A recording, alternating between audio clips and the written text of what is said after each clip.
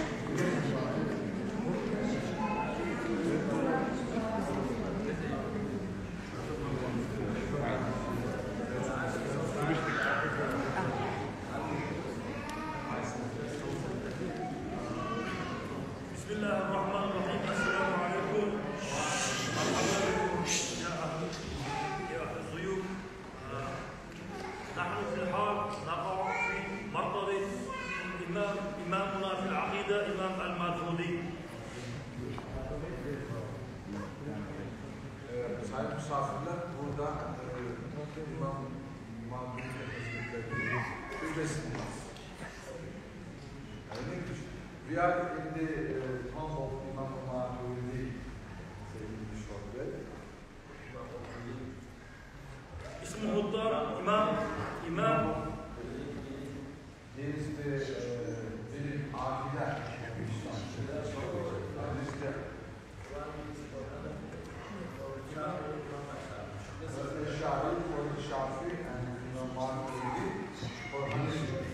İngilizce'de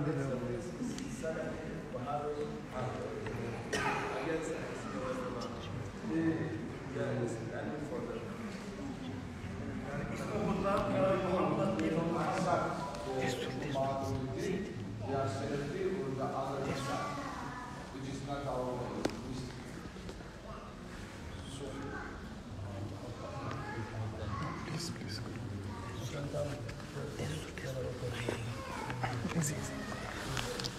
إمام ماترودي اسمه كان يعني اسمه التام كان محمد ابن محمد ابن محمود. أبو منصور الماترودي ولد في سنة ثمانية ثمانية وسبعين من الميلاد. وتوفي في سنة تسعمائة أربعة وأربعون. عاش يعني أربعة وسبعون سنة. İngilizce yapar mı diyorsun? ingliz tiliga tarjima qilishim mumkin ingliz tiliga tarjima qilaman agar o'zbechalarga gapirsangiz ha shu bo'ldi bo'ldi sen turkcha yaparsan turkcha hamma turkcha geldi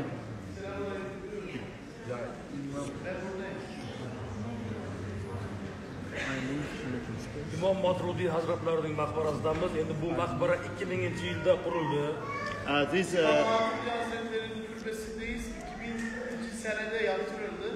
The, the, this graveyard was built in 2000 year. Of Imam Maturidi. imom motrudiy hazratlari samarqandda tug'ilgan samarqandda yashagan samarqandda vafot etgan imom maturidi was born in samarqand he was living in samarqand and dead in samarqand ee, sakkiz yuz yetmishinchi yilda tug'ilib to'qqiz yuz qirq so he was born in sakkiz yuz yetmish to'qqiz yuz qirq to'rt He was born in uh, 870 year and uh, passed away. 944 nine- 1940. imom motrudi hazratlari imom azam abu hanifaning to'rtinchi avlod shogirdlaridan bo'ladilar. Ya'ni to'rtta ustoz bilan imom azamga borib yetishadi Maturidi is the uh, number fourth uh, of generation of Imam Azam. bitta bitta nomini tarjima qiling ustozlari abu nasr al iyoziy So one of his uh, teachers is Abu Nasr Niyazi, abu nasr al iyoziy Abu Nasr al-Ayyazi. shuning ustozi al jurjani His uh, teacher of this teacher is uh, Al-Juzani, jurjani Jurjani. jurjanining ustozi muhammad shayboniy And his teacher is Muhammad Shaybani. muhammad shayboniy imom azam abu hanifadan dars olgan And uh, Imam, uh, uh, and this Imam was uh, started from Im- Imam Abu Hanifa. Imom azam bilan imom motrudiyning 200 yil farqlari bor tug'ilgan So the difference between Imam Azhar im- and Imam Maturidi is 200 years only. imom motrudiy zamonida mu'tazila havorij degan turli har xil oqimlar firqalar rivojlangan hatto davlatlar ham ularni qo'llab quvvatlagan ahli sunnat zaiflashgan davr edi So it was period uh, when Imam Maturidi was living here. So it was a very difficult period for Ahli Sunnah wa Jamaa because uh, very different like Khawarij and other uh, like sect was hardly influencing on government, on, on people and their uh, minds. imom motrudiy hazratlari o'sha davr turli oqimlarga firqalarga raddiya bildirgan va ahli sunnatni haq yo'l ekanligini ilmiy isbotlab ko'targan So Imam Maturidi was against all these eh, eh, different kind of sects. He, uh, basing on ilm only, on knowledges, he uh, proved uh, the difference uh, from their sect and to prove their uh, correct uh, way of uh, aqidah.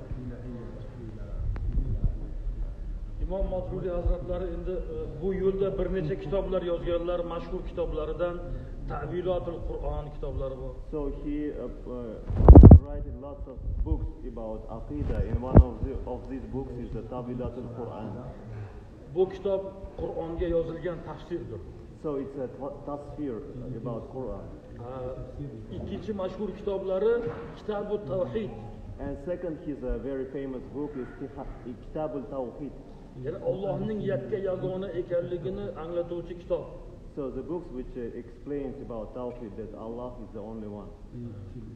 bundan tashqari yana bir necha kitoblar yozgan imom imom motrudiy hazratlari endi e, ham aqliy ham naqliy dalillar bilan o'sha zamon oqimlariga raddiyalar berib ahli sunnatni yuqoriga ko'targan ular.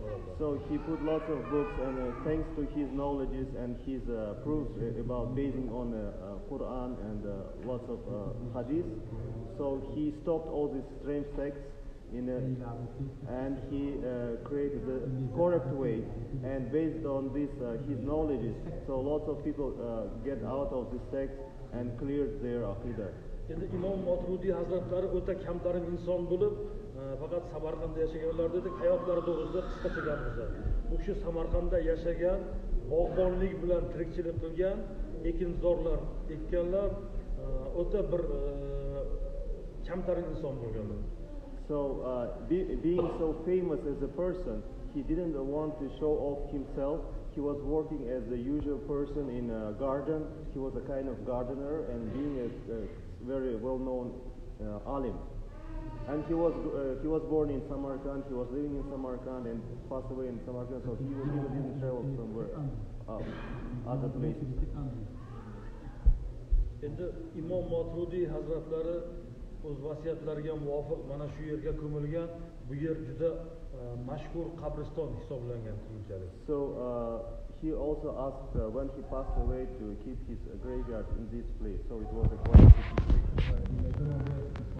endi bu qabristonga juda ko'plab e, ahli sunnatni himoya qilgan olimlar shahidlar dafn qilingan And uh, the reason of it because lots of alims and shaykhs who were protecting uh, the correct aqidah of Ahl Sunnah Jama'ah were passed away and uh, it was a kind of graveyard of here all around. Biz tanigan mashhur olimlardan mana imom motrudiy bo'lsalar hidoya kitobining muallifi burhoniddin marg'imoniy ham shu yerda So uh, uh, the other uh, well-known uh, alim Burhan, Burhanuddin Margilani who also uh, put down the book. Hidoya. Hidayah. Also, uh, his graveyard was somewhere here. Yana tanbihul g'ofilin kitobining muallifi faqih abulay samarqandiy ham شو هي ضد حمية الكعبة؟ تبيح الكتاب تبيح تنبيه الغافلي تنبيه الغافلي it's another book which was uh, put down by another alim his name is أبو ليس السمرقندي أبو ليس السمرقندي Fayash Yoshib Abu Hakim As-Samarqandi bir necha olimlar bizga taniqli va taniqli bo'lmagan juda ko'plab olimlar ko'milgan. So it's uh, only just a little part of those alims who uh, uh, he explained us, but actually there were lots of alims who tried to protect our Ahl Sunnah Jama'ah to be in the correct aqidah. o'n o'n uchinchi asrlarga kelib qabristonning hududi yigirma gektar atrofida bo'lgan So uh, this around area, it was a big, uh, huge uh, graveyard, and it was about in 13th century. It was about 20 hectares graveyards only here. o'sha yigirma gektarlik olimlar qabristonining qoq markazi turbatul muhammadin deb atalgan So, and people call this uh, graveyard Turbatul Muhammadi. bu turbatul muhammadiyinda faqat muhammad ismli mushtahid olimlar shayxlar dafn etilgan So it was uh, in the center of this. It was the Turbatul Muhammadin, the place uh, where uh, lots of alim who had name uh, Muhammad, uh, and those who were alims and protected uh, aqidah. were turbat turbatul muhammadiyin degan makoni imom motrudiy qo'yilganlaridan so'ng u kishining faqat muhammad qo'yilgan bu kishining ham ismlari muhammad bo'lgan So actually, uh, uh, Imam Atardi, uh, one of the name was Muhammad, and because his his grave was here, so only around him there were graveyard only on those alim who get the name Muhammad. Ular bu qabristonga e, butun islom olami taniydigan juda katta olimlar ko'milgan o'z davrida himoya qilingan. Amir temur davrida ham muhofaza qilingan bu qabriston. So uh, this uh, graveyard was uh, famous for uh, alims who protected aqidah, who protected uh, Ahl Sunnah Jama'ah on a uh, ilm level, and even during uh, Tamerlan, Amir Timur, uh, this uh, graveyard was protected by uh, Amir, and he, he built uh, this uh, around this uh, mosque. hatto chor rossiyasi va sovet tuzumi davrlarigacha saqlanib kelgan qabriston keyin o'sha davrning siyosati tufayli qarovsiz qolib keyinchalik sovet tuzumi davrida bu aholiga uy joy qurishlik uchun tomorqa sifatida taqsimlab berilgan So this graveyard was protected by government only during Soviet Union period.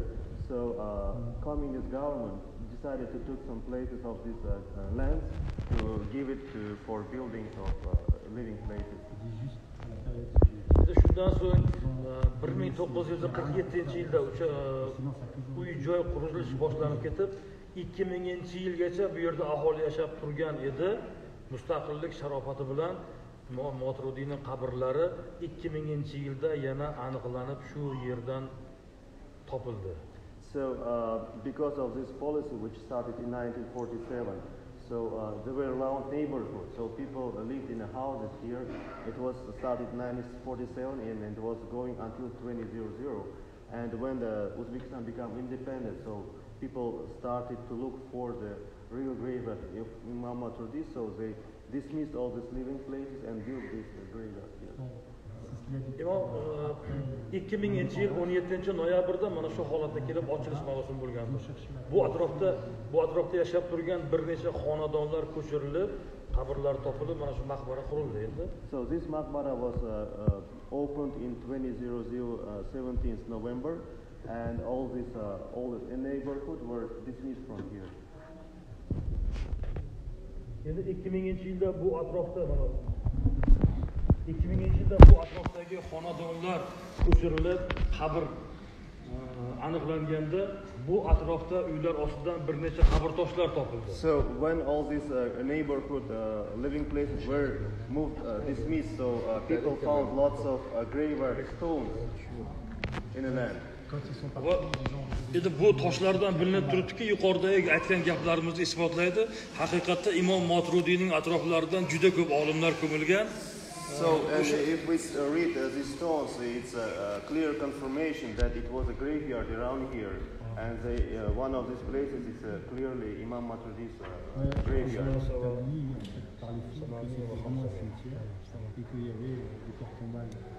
la présence d'une endi o'sha vaqtda topilgan toshlarni shu yerga to'plab qo'ydik. Bu toshlarda arab tilida ma'lumotlar yozib qoldirilgan.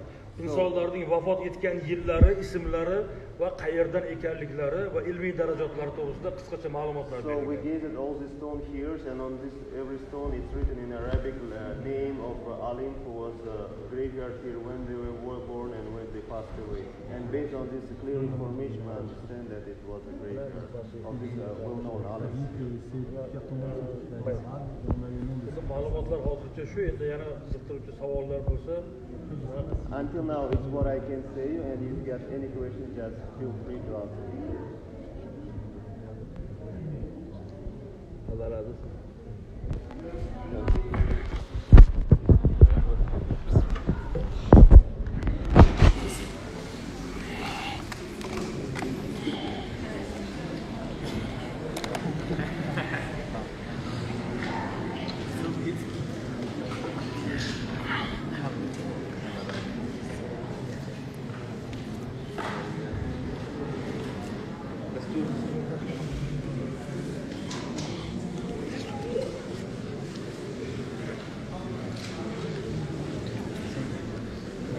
there you can see them.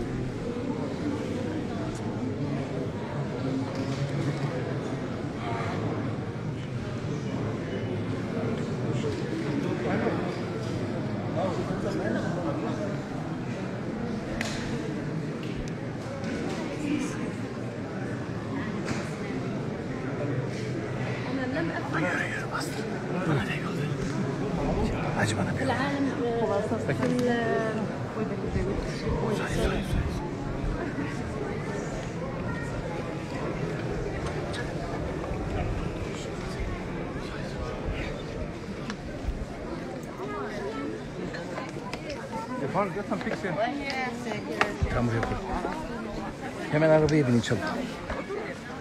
Topla işte.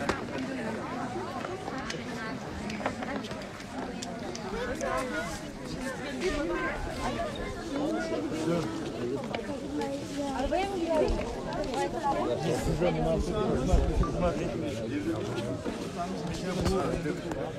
Arada, aradan dua.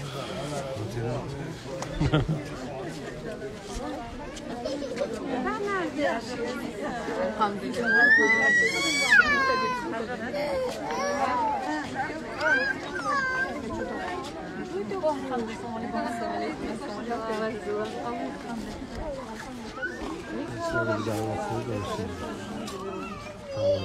就是。